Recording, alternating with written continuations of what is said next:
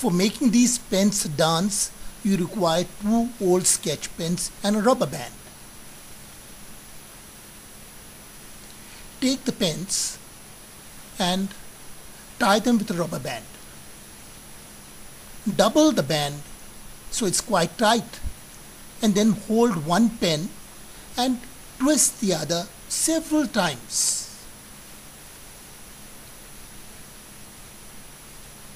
You can actually see the twists between the two pens. And now place the pens on a table and they would dance and jump very animatedly as if they were alive. You can also put it on a floor to see the pen dance. Now instead of sketch pens, you can take ordinary ball pens, you can take pencils. Once again, tie them with a rubber band, give a couple of twists and leave them on the floor.